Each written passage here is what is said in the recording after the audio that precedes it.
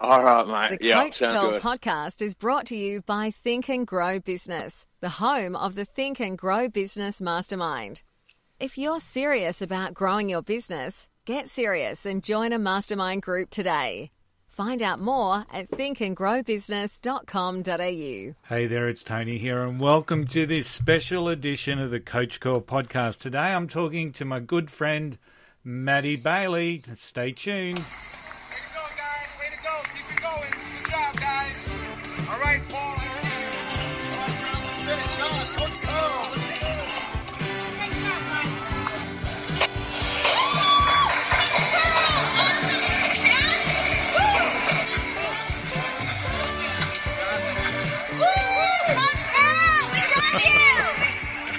I just get such a kick out of listening to that intro all the time. Brings back great memories of running the New York Marathon with my wife Sharon in 2018. It's uh, always puts a smile on my face, as I'm sure that you'll get a smile on your face in this episode of the Coach Curl podcast. As you know, uh, a good friend of the podcast returns today. If you've been a regular listener to the podcast, you'll know all about Matt Bailey. He's an aspiring musician.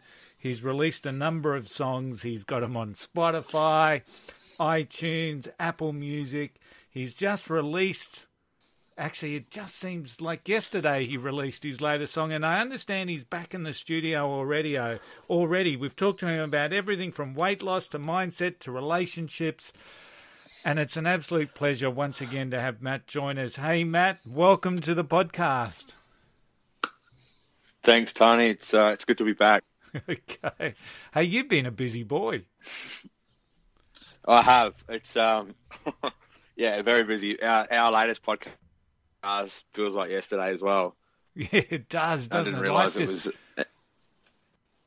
life just seems to go Yeah, it was, quick. um, It does. It does. And when you your head down and life happens, then you kind of can you look up and you're like, oh, it's uh, it's August already.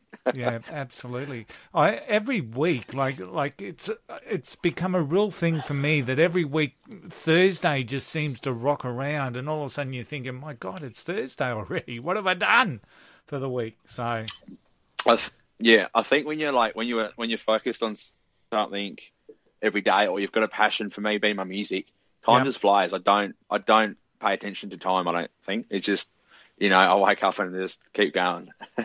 Yeah, it is. It is. And um, then all of a sudden it's Friday, and then you're back in the grind again on Monday. So, and uh, absolutely, it's like it's August 16 today, and it just Yeah. seems like yesterday I was doing February Fire Up with all the the people in the uh, the Coach Curl Academy group. So, uh, yeah, uh, yeah, unbelievable. yeah. hey, tell I- me about Crew Life. I- I- crew life, mate. wasn't that, wasn't that a journey? Um, it's uh, I yeah, I actually started writing it last year, and um, it can I want to tell a little bit of a story that I haven't really told, you go for and it. it, it kind of it kind of comes into like the world kind of of what, we- what we live in now and all this stuff. And I, there was a flight. I had a flight attendant on board, and and she knew she knew someone I knew, and we got talking, and I like just you know she loved my service, and I gave her gave her some free alcohol to take, and anyway she, she looked me up on. Uh, uh, Instagram and sent me a message and said, "Hey, thanks for hooking me up. You're a legend." Blah blah blah. And that was it. But then I remember looking at her profile, and it was just uh, bikini shot after bikini shot after bikini shot. Yeah, And I just kind of, I'm like, you know what? I need to write this song. I need to write this song. Um, because it's just there's so much things I want to say, but without you know upsetting everyone, I'm going to put it in a song. Everyone got people got upset anyway, but that was kind of what started writing that song. I'm thinking like you know flight attendants think that you know they're better than everyone else. Not not all of them, but and you know I've watched a lot of flight attendants who I've worked beside uh, domestically and then go over to international, um, and kind of think they're better than everyone and Yeah. better than domestic. And there's this ear and there's this vibe, and it's just like you know oh, it's we all do the same job. There's really no. So that was where the song started, and I remember being in Brisbane in my hotel room. I just put up GarageBand on the iPad and just chose some two chords and I can't remember if I had any lyrics, but I remember getting home that night and uh, lyrics just poured out. Yeah, yeah. I bet you had a Um, lot of people thinking it was about them. Oh, 100%. And Crew Life was the, is the best thing I've done so far for lots of reasons, Tony. Lots of reasons. Um, because it's something I'm proud of and I know it's good without sounding like, you know, full of myself. But we, we you know, we criticize ourselves. Like, I wouldn't put it out if it wasn't good. There's nothing wrong with saying this song's good and it's the best thing I've done. Production wise as well, it's the best thing I've done.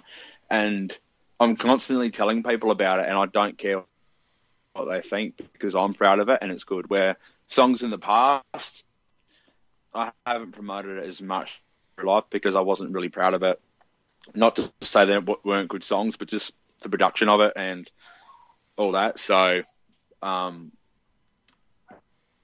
yeah, a lot of people like you know. There's a, you go, Tony. You go. And the video was a bit of fun with it as well. I mean, it, it, to me, it was.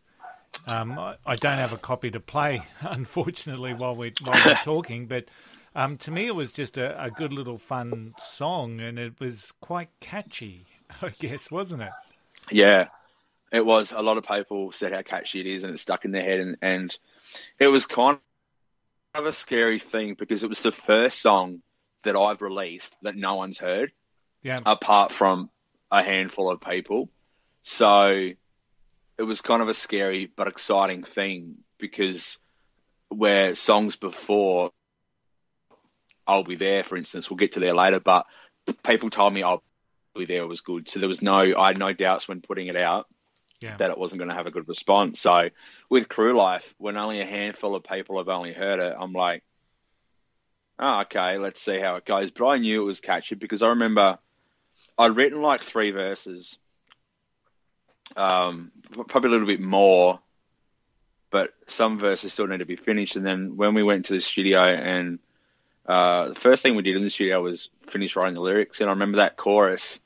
It just it was stuck in my head all Yeah. the way home, and trying to play the verse on guitar, I couldn't. The way I was singing it was the way the chorus is sung, the melody, and I just couldn't. It took me a long time to like unlearn it to then be able to sing the chorus and the verse melody very separate.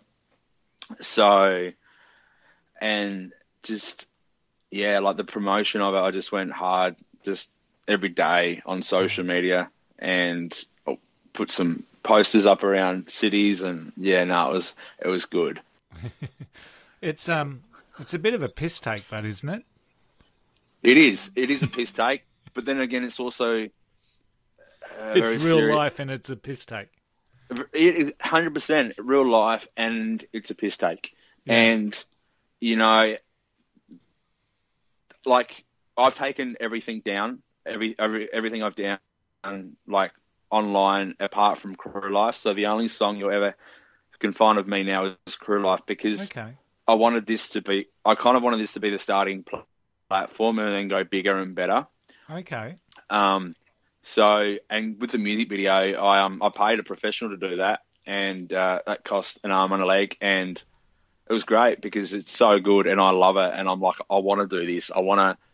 I don't want to put out any crap anymore. I want to put out good quality stuff, and you know, so many people ask, "Who did your video?" Blah blah blah. You know, people think oh, I did it. I'm like, no, there's no way I could do that. Like, you know, it's uh, the amount of detail that's gone into it, and the amount of hours that went into it was a lot. Yeah. So I think he spent over thirty. hou- I think he spent over thirty hours on it. Wow. Yeah, And and you can see Yeah. that in the in the quality of the song and the quality of the recording Yeah. and the quality of the video. So I think, you know, overall, if that's now your new baseline, I, I guess we can look forward to what's going to come out in the future. yeah, yeah. So back in the studio, uh, Sunday Yeah. I was. I was up in I was up in Canberra, so um, squeezed a few hours in there, uh, recording an EP this time. Okay. So very excited, Yeah. very excited, Tony.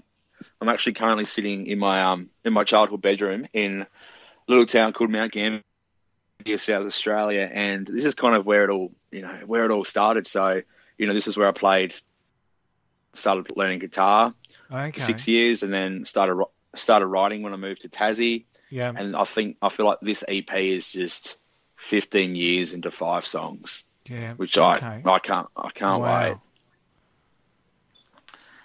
So Yeah. what's the emotions like then at the moment? I mean, uh, it was interesting. I was speaking to someone the other day about redefining success for themselves, and you know, sometimes there's so many memories and and emotions and feelings that we evoke when we go back into hometowns. In your case, the home bedroom.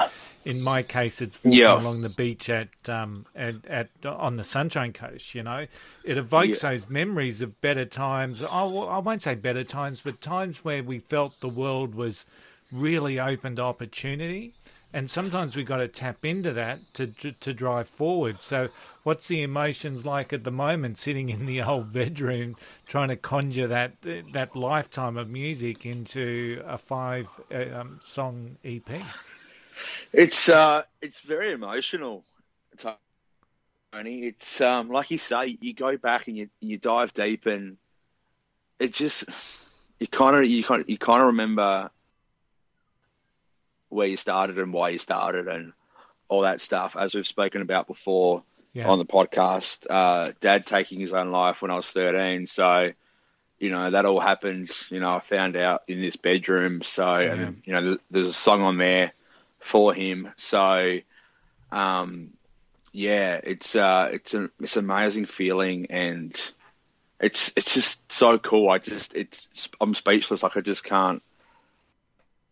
Sometimes you just can't put feelings into words. It's just this is what I've worked so hard for, Yeah, and I can't can't wait to record these five tracks. Like all all written at separate times as well. Some of them were um, I wrote around the same time, but it, at the same time, it's not so much as when they were written. Like, you know, Dad took his own life 2004, so you know it's it's probably all this. You know, I'm 29 now, so in a way, it's kind of these five songs are 29 years of experience, and I'm just really really excited, especially Yeah. after the react, especially after the reaction I had with Crew Life yeah, because I finally found a producer that is amazing, and he did amazing work. And uh, uh, like when we were in the studio Sunday, the first song we started recording was "I'll Be There," and just three little changes he's already made to it. I'm like, this is awesome. Like, I just I can't wait to see the final product.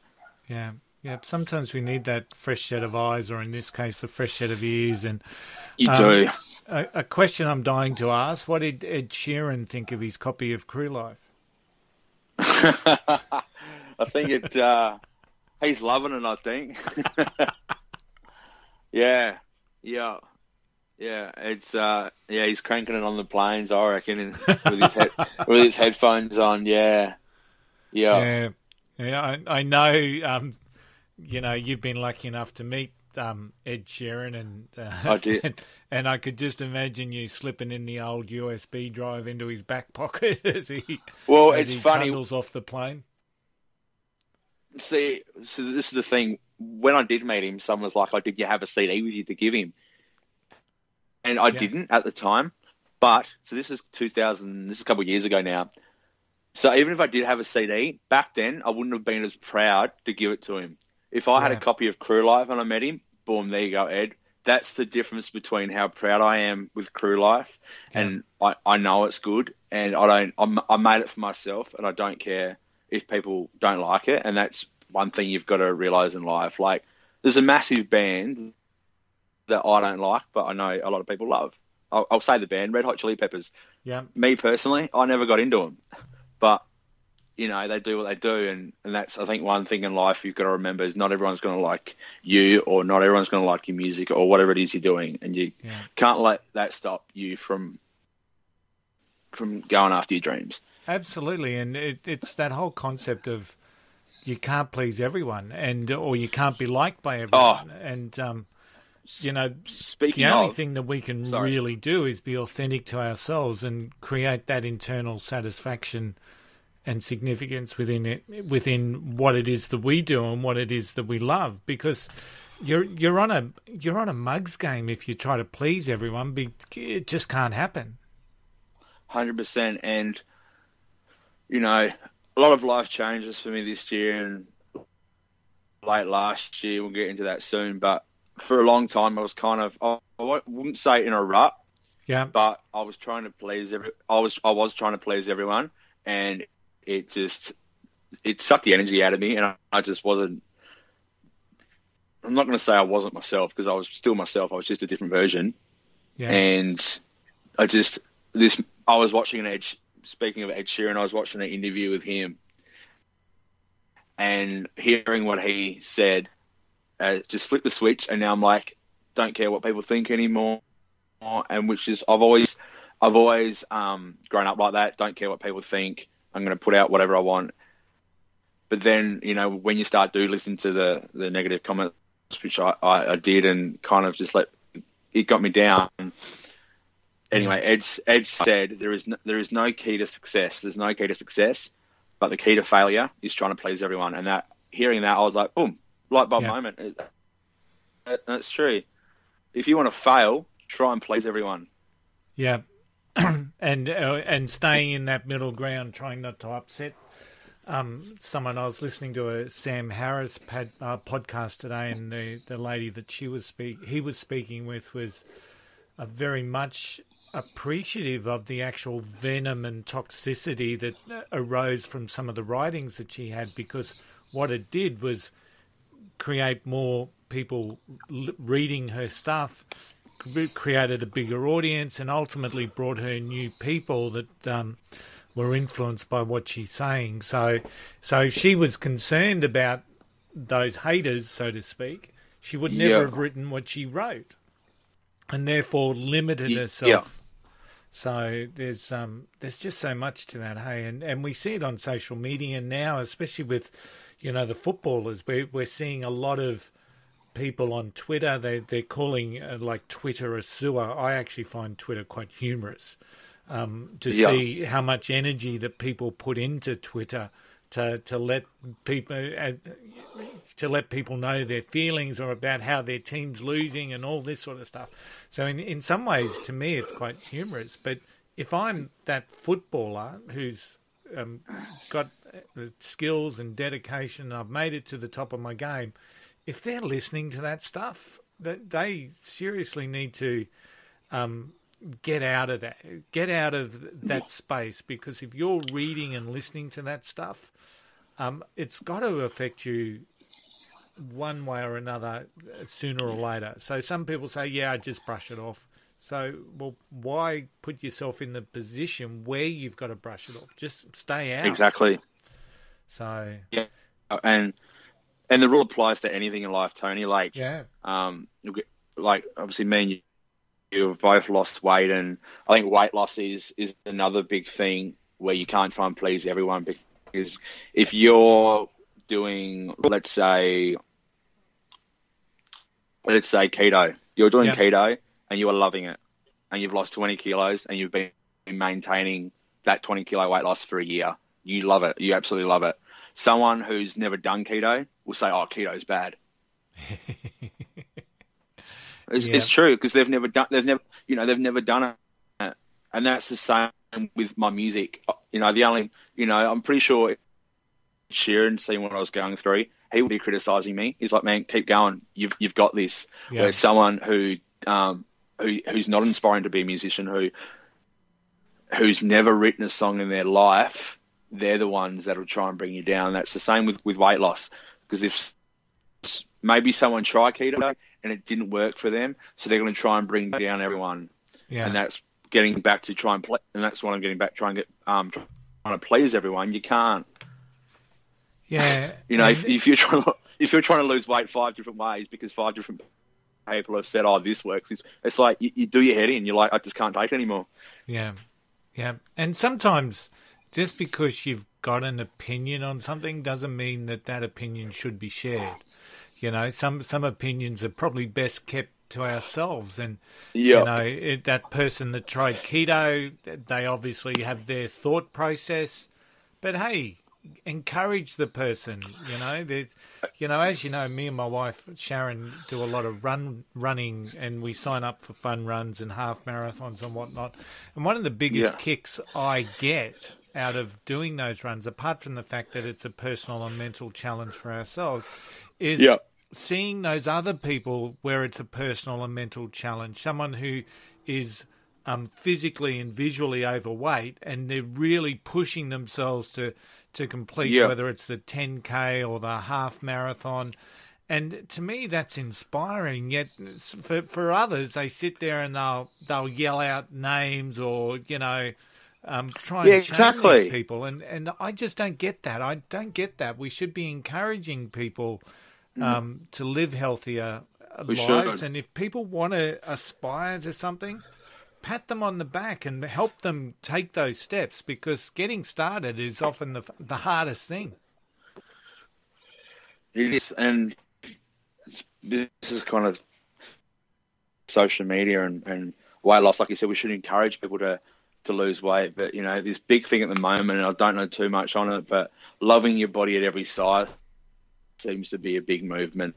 Yeah. Which, which is great. I'm all for it, all for it. Like, you know, love your body um, at, at every size.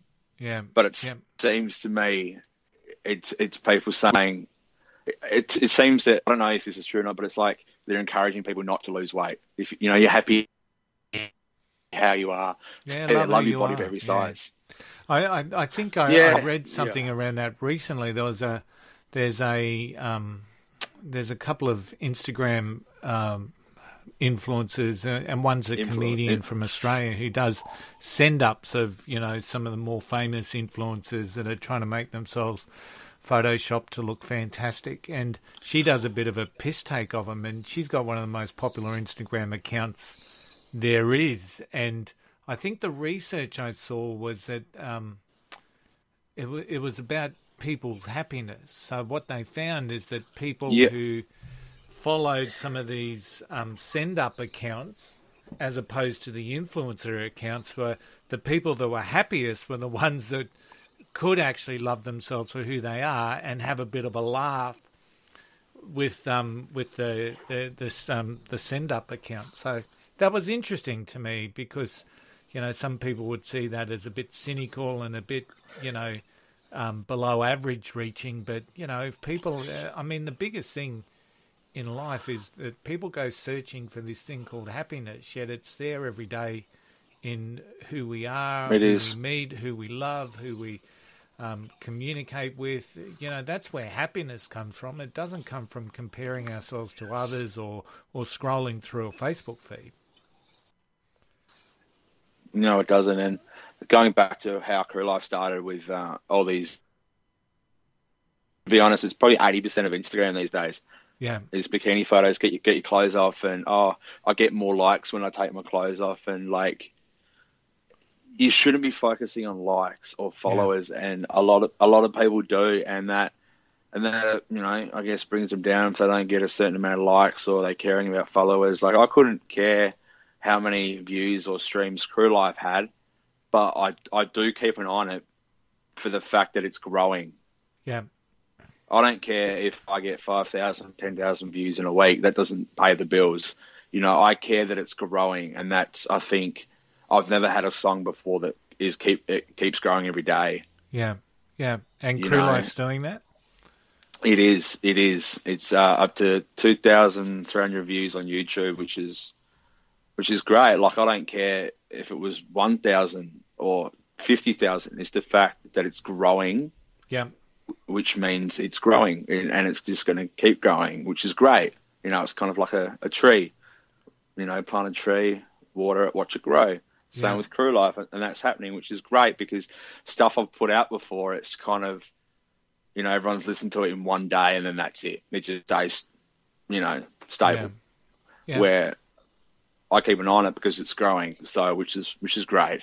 Absolutely. You know, I seen some, I seen something the other day, and this kind of made me laugh. And on, Yeah, on Instagram, got five and reached five, reached five thousand followers, right? So her friends organised a surprise and got a big five and a big K balloon to celebrate. Yeah. And I'm like, what's there to celebrate? What's 5,000 followers do? If that's not paying your bills, you know? Like at the end of the day, we all need money and blah, blah, blah. And one day I'll be able to quit my job and do music full time, whether I'm earning this or this. I don't care. As long as I can do music full time, I don't care how many followers I have. Yeah. And I think a lot, a lot of people these days are consumed by that. They are. Yeah. It's um the concept really should be that life's not about likes. It's it's about what you were just talking about. It's about progression. It's about how are we progressing towards the person that we've be, that we should be, that we should become. It's not about you know owning the big plasma TV and driving the Maserati or or, or things like that. It, that's trying to find happiness and satisfaction in material goods. It's about who are we and what are we going to become. Life's not about likes, and you know ultimately you know, some of the research in and around social media is that um, it's just as addictive as what you know some of the heavy drugs are. It's just as addictive Yeah. as alcohol and food um, sabotage Yeah. and all of this sort of stuff. So, you know, it's dangerous places. And if if people are getting their gratification because a thousand people have liked a photo, that's a that's a bit of a dangerous place to be. It is. It's not like you know you walk down the street and you see this little bubble on someone's head of how many followers they have. you know, Actually, there's um, oh, when, I saw a series where that was actually the case. People could actually see. I've forgotten what it was called now, but um, it was on. That's it it. was a Netflix, and uh, and Yep. yeah, it's really quite overwhelming when all of a sudden your followers and your likes are out there for the public, and people react to you based on that. And heaven forbid if we Yeah, ever get to that sort of place, because um, yeah, it's a Hope very, not. very interesting space. Speak- So. speak speaking of Maserati and happiness, Yeah. one of the one of the podcasts I've been listening to at the moment is uh, is a very dear friend of ours, Jeff Jower. Yeah. I don't know if you've caught any of his pod. I don't know if you've caught any of his podcasts, but uh, he's got real vulnerable, and that's so attractive in someone when when someone tells you about hitting rock bottom and, and losing everything, and money doesn't become, you know, it doesn't. uh, Sorry, happiness doesn't come from money. Doesn't buy happiness. Is what I'm trying to say. Yeah.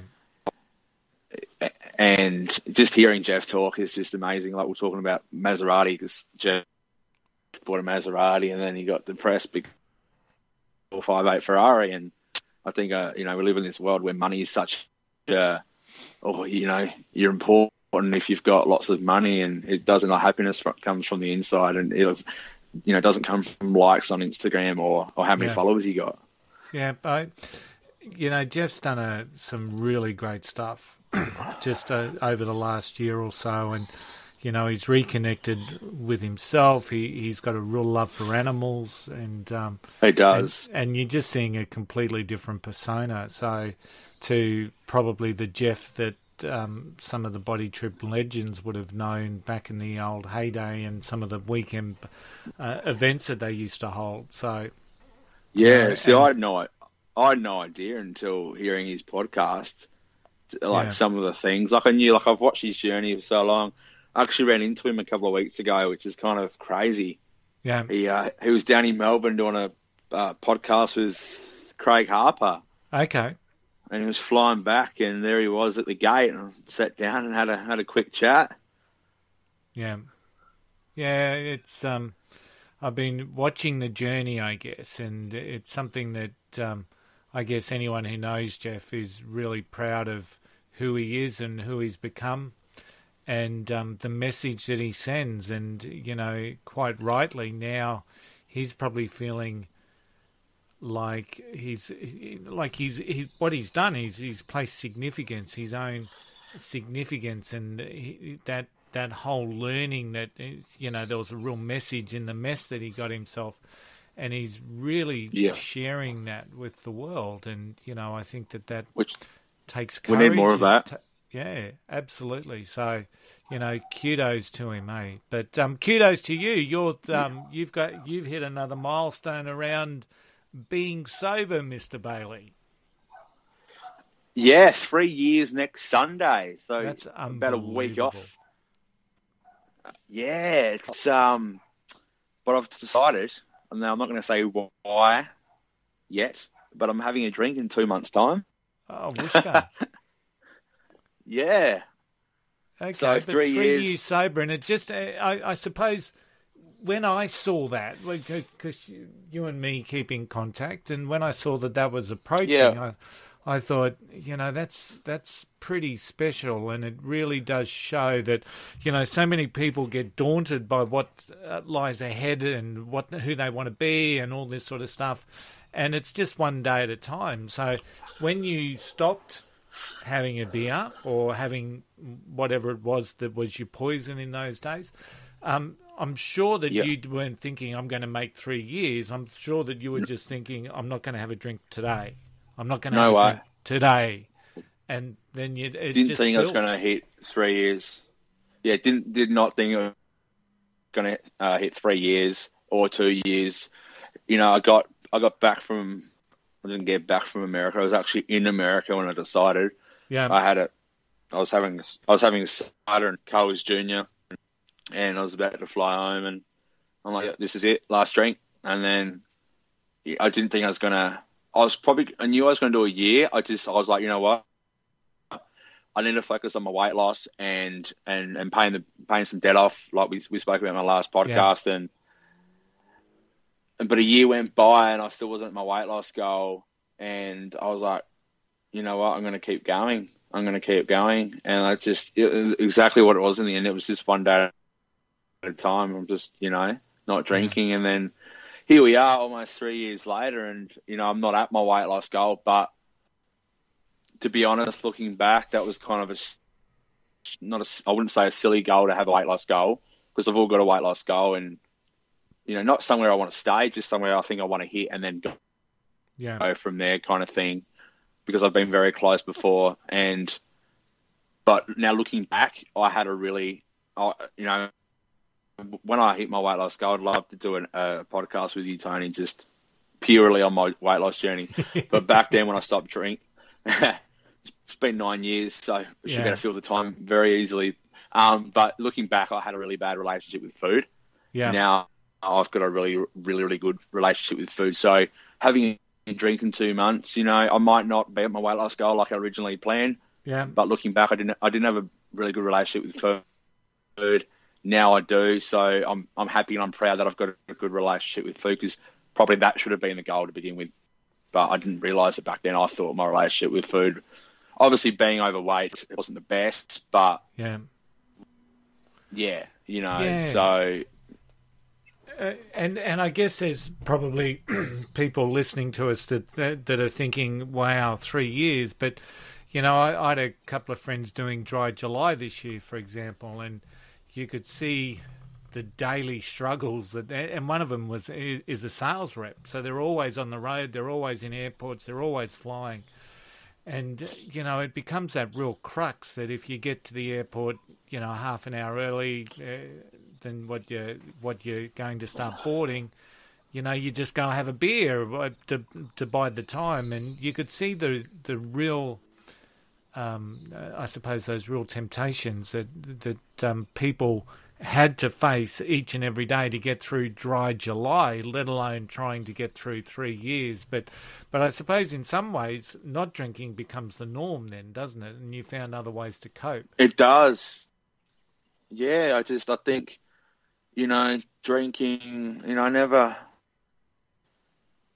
I never drank every day, or like I said, I never had a problem. And but like I think three years sober was I think is a one of the best things I've ever done because it just be a world. Oh, Tony, Yeah. you know, like most people like relations. That's awesome because you know I guess there's people out there that would that want to do it, but then you know society and what they care what people think and all this kind of stuff. And you know, I just like I said, I got to the point where I'm like, is drinking is really, it's not getting me where I want to, where I want to go. Yeah.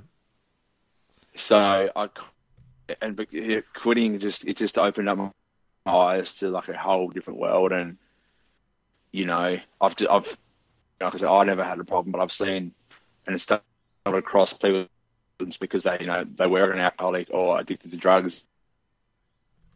So they're Yeah. under the influence, you know, like a car crash and had to get sober and you know that kind of stuff. So I, you know, I give it people, you Yeah. know. So And and in many ways, it's um, it's how we cope with our day to day life that yeah, that, that leads us down the path to things like um, alcoholism and you know, um, or, Yeah. or even just having a drink on a weekend sort of culture that a lot of people get into.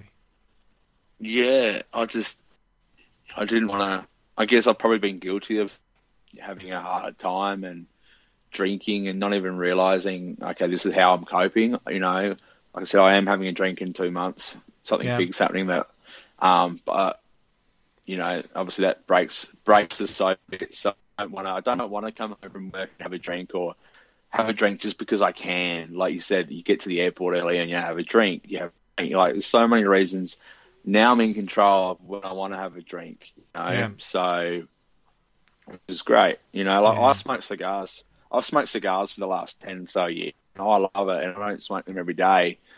Um, you know, it's- it's not like oh, I've had a hard day. I've got to have a cigar. I have cigars when I celebrate something, or like I've got four days off now. I'm home with mum and dad. I bought a packet of cigars. I'm just just relaxed. Like I'm not having them to cope. You know, Yeah. and that's the same. You know, we do it with everything. We do it with with food, alcohol, you know, drugs, you know, whatever it may be. Yeah, yeah, and um, and once again, just to get into some healthy coping habits, you know, going, uh, you know, if someone it, it does have some worries about how they currently cope with living in the world, and uh, you know, sometimes it can be just as easy as um, going for a walk of an afternoon after the job's finished, you know.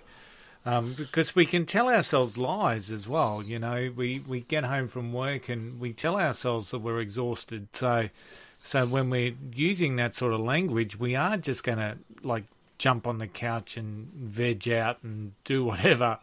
Um, but It's You know, it's, I- it's it's exactly the same as people going to the gym and Yeah. say, "Oh, I I deserve that. I deserve this now because I've Yeah. I've, I've I've um I've gone to the gym for an hour, so I can have this pizza." Well, really, you probably haven't burnt enough calories to compensate for the pizza, and it's the same with you know that language you're talking about. Oh, I deserve. I can have a drink now. I've had a rough day. Blah blah blah blah. Yeah, yeah. Um, and so we're giving ourselves excuses. We're giving ourselves permission to to do things that we know are probably not the best for us. But um, and we've got to be able to, you know, whether we, it's a trigger or whether it's a gauge, we've got to be able to just pull up stumps on that. So. So, stay in Yeah, your you own do. path, Matty Bailey. You can't be accused of straying off your path. No, So, what does that path look like from here on in? What's next? my what's next? Yeah. Uh, well, the the EP is happening, so that'll probably be released next year Yeah. because I don't want to rush it. You know, I, wa- I wanted Crew Life out before Christmas last year, and it came out May this year. So that's one lesson I've learned: just don't rush it. So yeah, so the the EP will come out. There'll be one music video, and that music videos I'll be there, and uh, you're a part of that.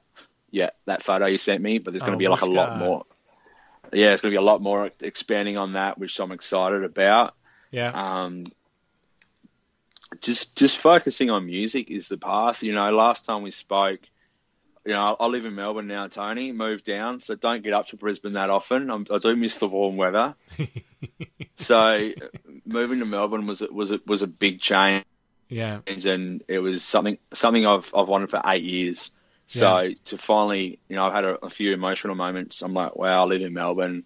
I'm now a four hour drive from my mum and dad, and it's- awesome. Like, so, but yeah, so my path going forward is is the EP, the music video, probably probably a few other things Yeah. I've got no, I've got no idea yet. Um, Yeah. But just yeah, focusing on on the weight loss, which is good. Like I've got a really good relationship with food, and and just just moving forward. Excellent. We'll um, have to catch up when um, I'm in Melbourne coming up on. I'm going to run 42 kilometres in that city on Sunday, October 13. So we'll have to catch up probably after. Oh, Yeah. When, after uh, good because actually it's funny you say that date because I I'm not going to say it yet, but that's the week I'm having my first drink in three years, oh, wow. and I um I get back from wherever uh, Mystery Matthew might be on that Sunday. So uh, Mystery Matthew. and then I've got that whole week off. So mate, we'll, we'll catch Ah. up for it. We'll catch up for a drink. yeah, absolutely. And then after the marathon, we're doing the Great Ocean Road all the way through Oh. to Adelaide, so that'll be cool too. So looking forward to Perfect. wonderful time with um with Sharon. So that's going to be a great trip. Not quite sure about the Perfect. 42k. Don't know if I'm. uh, I've had some more troubles with my legs this year, so yeah. um, my physio and my remedial massage just keep saying, Tony, I wouldn't be doing it. so I've got to listen to good advice, but um, I certainly don't want Sharon to be running it by herself either. So it's one of those dilemmas that I'm in at the moment. But I'll be there, so I might You'll be, be there. for a I'll be there. I'll be there. I'll be there. That's uh yeah, that's that's um this obviously that's the music video I'm doing and yeah, I can't wait. yeah, Because that Yeah. song, I remember our last podcast I listened to it the other day and I said I didn't really like the song, but I do because of it's just it's funny, this is ironic, but this song has been there for me. yeah, yeah. So it has like I remember a couple of years ago I was in Vegas. For the first four days, I just wanted to come home. I was just so anxious, didn't want to be there. And then I played that gig that led to the whole bar singing. Someone got up singing with me, and it's just, yeah, it's just been amazing. Mate, the song's got It's a life song, of its own, so it, It, certainly it does. Yeah. Hey, and just on Last another time. interesting side note, last time we spoke was on the 22nd of de- the last podcast we recorded was the 22nd of December. It was the day after Day after Gravy Paul Day. Kelly. Gravy Day. Yeah. And um, guess who's singing up here in Brisbane again on the on Gravy Day? I've got to guess Paul Kelly. Mr. Paul Hey. Kelly. So, Mr. Paul Kelly. mate, that's going to be so, So- cool again. So I love the That'll be bloke. I love his music, and um, you know, once again, it's uh, he must like Brisbane on Gravy Day. He does. He must like it. Yeah, absolutely. Hey, Matty, as always, been an absolute pleasure having you on there. It How has, can people mate. catch up with you? They can catch me at uh, on facebook.com forward slash Matt Bailey Music. Yeah, or I've started a uh, Instagram music now, which is Maffew Bailey. So yeah. What's the deal um, with that, Matthew Bailey? Maffew. It's so M A F F E W E B A I W E E. Yeah, I know, so a, a friend of mine, I think she was putting my number in her phone, and for some reason she just put it in as that. yeah, No idea why. I can't remember how it. It was years ago now. but yeah. she put it as that. So I thought, you know what, I'm going to run with that. See if that if that'll stay in people's minds. I don't know. I couldn't have Matt Bailey because yeah, that's taken. So maybe yeah, Ma- So Matthew just go Bailey. through your so- social media stuff again. How can people find you? Yeah, so Instagram is Maffew Bailey. Hard to say the braces. Facebook is facebook.com forward slash Matt Bailey Music. Yeah. Spotify, Apple Music, Google Play is is Matt Bailey. Finally separated my music with all the other Matt Baileys out there, which is great. So it's Matt Bailey. My logo is a little moustache. Yeah, Head to, head to YouTube, type in Matt Bailey Crew Life or just Crew Life. It comes. It's the first thing now that pops up. If you type in Crew Life, the suggestion box will drop down, and Matt Bailey's there. If you've never searched before, which is really cool, which again shows it's growing. And you can check out the the music video, animated lyric video for Crew Life. Yeah.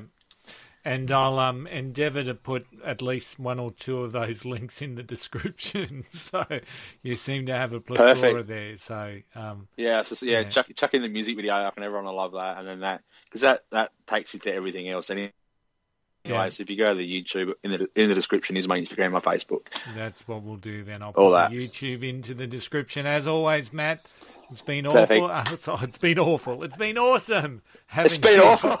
Was it that bad? having you on the podcast again. It's always good. Some some little gems that you've released as well. Hey, good luck. Um, if you haven't heard Crew Life, um, to the listeners, do yourself a favour. It will run around in your head for a, a couple of days. It is a little bit catchy. It's, uh, I think, the closest Matt Bailey's got to a pop song, and so I'm really looking forward to seeing what else he pops up. But until next time, everyone, um, I'll see you then. Don't forget the golden rule: just don't be an arsehole. I'll see you next week.